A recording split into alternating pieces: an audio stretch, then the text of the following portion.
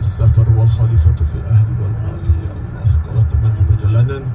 Kalau penjaga kami harta benda keluarga kami pelihara kami. Ya Allah selamatkanlah kami dari segala musibah dan mara bahaya. Ya Allah sembuhkan segala penyakit.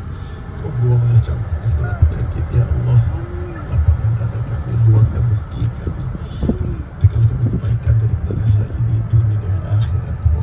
Terima kasih semua kakak-kakak, makcik-makcik yang sudi bersama ke rehlah uh, kurus motivasi keluarga ya, Tasik Penyir. Alhamdulillah Allah uh, kita merancang, Allah juga yang merancang dan perancangan Allah lah yang terbaik. Uh, kita merancang dua houseboat ya.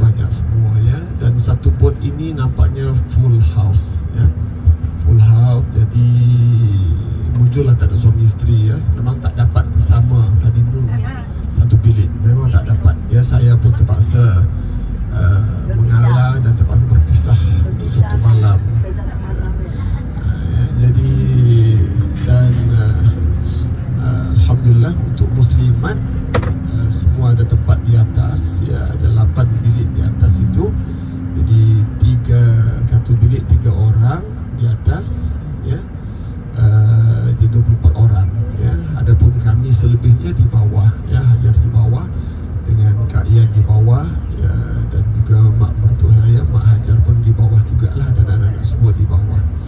Ya dan anak-anak terpaksa tidur di atas lantai sebab tak ada dah katil ya di bawah itu hanya ada dua bilik. Ya satu Kak Ian satu Hajar. Dan uh, keluarganya. Apapun insya-Allah kita akan berikan yang terbaik. Ya cuma kita berdoa kepada Allah SWT semoga cuaca tidak uh, memburuk ya. dan saya bergurau dengan uh, Kenyir katanya okey saja. Ya. uh, hari ini memang tak hujan tapi besok diramalkan hujan. tapi ya itu ramalan mereka lah. Kita doa lah ya semoga kalau hujan pun macam ni renyah-renyah pun tak dapat lagi lah boleh lagi insyaAllah kita kita ya. Uh, jadi insyaAllah perjalanan kita ke kota Kinabalu. Kuala Terengganu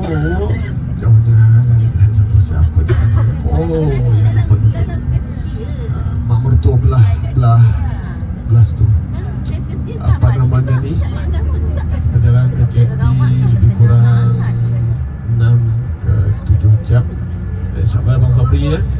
Kita akan dijangka sampai sekitar pukul 5 5.30 pagi.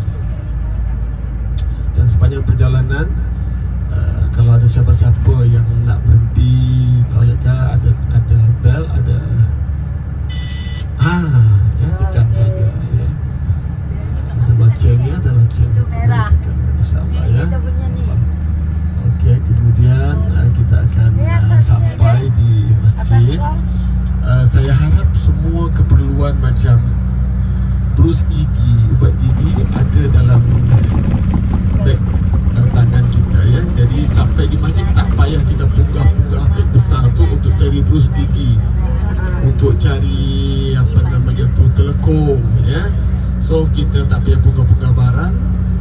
Kita terus ke masjid toilet bersihkan badan sempat awal sampai awal ada juga yang yang mandi sebelum subuh boleh juga ya. Nak mandi sebelum subuh ya, pukul 5 ataupun ambil wuduk saja pergi gigi ambil wuduk dan kita ambil kesempatan ya musafir ini ya untuk solat tahajud ya. Uh, solat tahajud.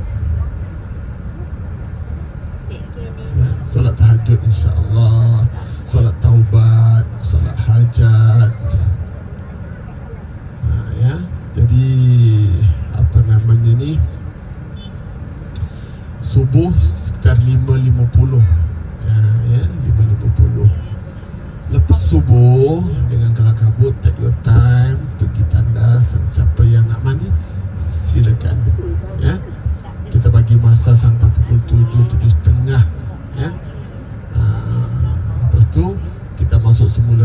masjid kita buat sedikit uh, uh, refreshment rohani. Ya kuliah duha ringkas insyaallah. Pukul 8 kita gerak ke uh, pasar payang ya. Di pasar payang. Di pasar payang aktivitinya pertama sekali sarapan ya. Ya. Uh, sarapan masing-masing.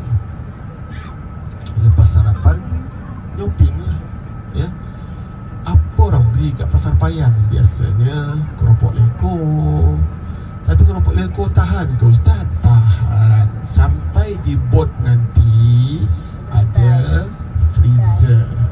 Terus masuk tapi tulis nama siap-siap di luar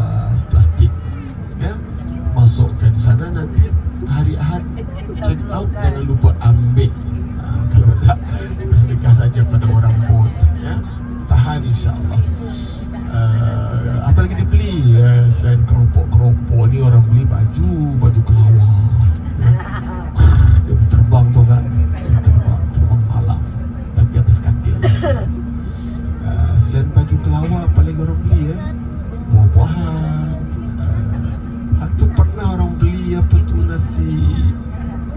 Oh nasi. Bukan nasi dagang kan tu nasi siap tu ha beras siap tu. Oh, oh betul. Jauhnya lah. Nasi kerabu. oh beras beras siap tu Beras siap. uh, apa lagi orang beli ya? Bulat. Hmm, macam-macam lah kak ya. Ha. Jadi kita bagi masa hingga pukul 10 dan 2 jam ya.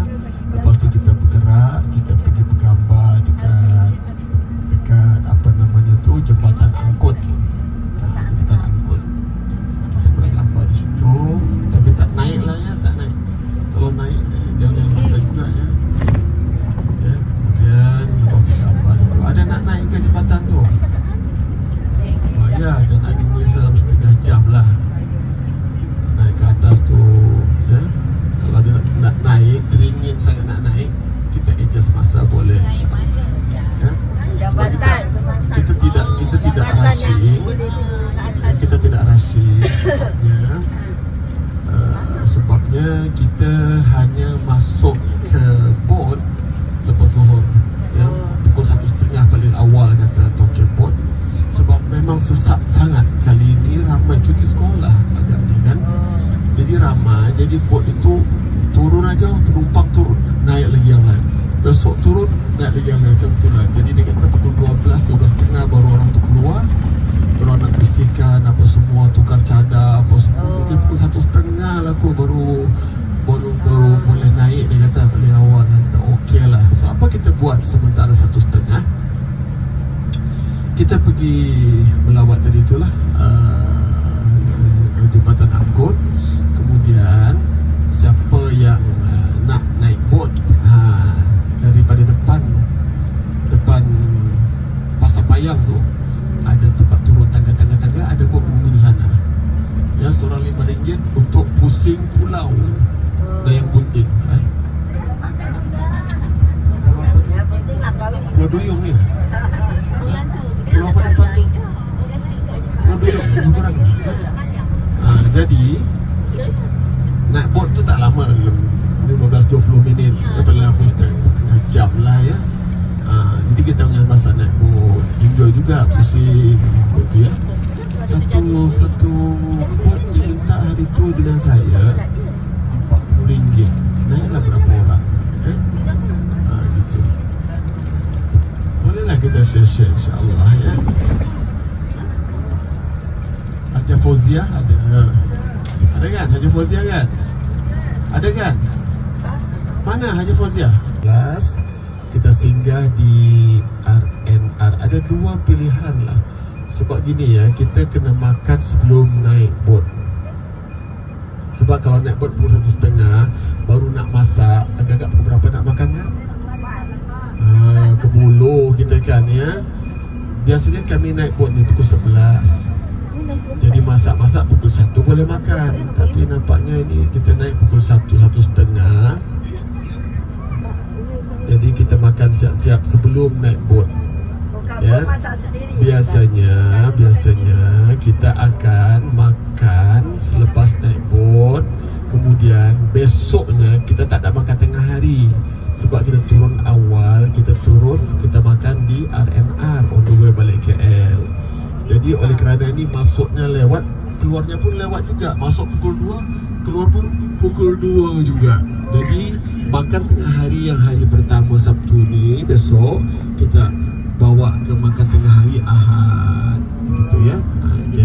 insya-Allah kita akan singgah. Ada dua pilihan kak.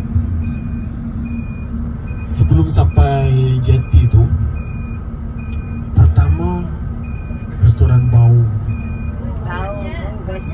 Memang sedap? Jadi saya pun tanya lah kawan-kawan harganya macam mana? Kayangan ke? Ataupun marhin ke? Dia kata biasa lah ustaz. Biasa tu macam mana? Dapat tak RM10 seorang? Tak dapat lah ustaz 20 antara 20 ke 30 ringgit seorang macam mahal kan? Uh, namanya pun bau enggak. Uh, susah dapat kan? Senang makan. Pilihan kedua ialah di RNR sana nasi campur nasi campur ni biasanya makan dalam 7 ringgit ke 10 ringgit hari yang minum itu boleh laku kan ya. Kan? kita nak alas perut je ya. Kita makan lepas tu kita pukul 1 kita naik bot dan kita teruskan perjalanan kita. Sambil-sambil tu kita siapkan untuk menu petang ya. Ha, sampai sana sampai ke ke air terjun ya daripada jeti ke air terjun lebih kurang 2 jam setengah. Dalam perjalanan kita ada sesi pertama ya. Uh, sesi pertama siapa ingat dalam program tu? Ya. Uh, anak soleh. Jadi kita kumpulan sini anak-anak berada dalam 10 orang kot. Ya, kita akan buat satu sesi pertama dalam perjalanan. Kita akan sampai dalam pukul 3 3 di lokasi atau 3.30 di lokasi selewat-lewatnya pukul 4 di lokasi kita akan solat Zuhur dan Asar. Ya, Kenapa tak solat di jalan? Sebab susah kita nak tentukan kiblat ketika dia bergerak. Kita parking dulu buat kita di sana Dah tentu arah kiblatnya baru kita solat. Ya, Lagi kita musafir. Jadi kita solat Zuhur, solat Asar jamak Kemudian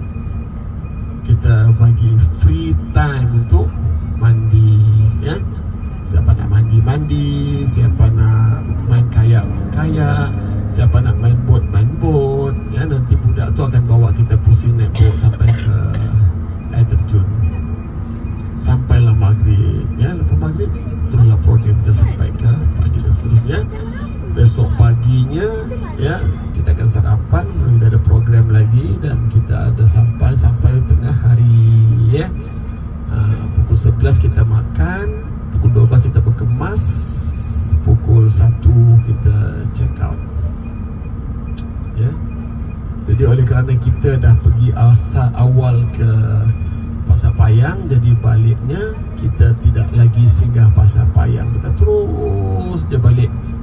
Jadi kalau kita gerak pukul 2 Daripada sana Biasanya Sebelum Isyak Kita sampai ke Masjid Faizin Dan dalam pukul 9 atau 11.30 kita sampai ke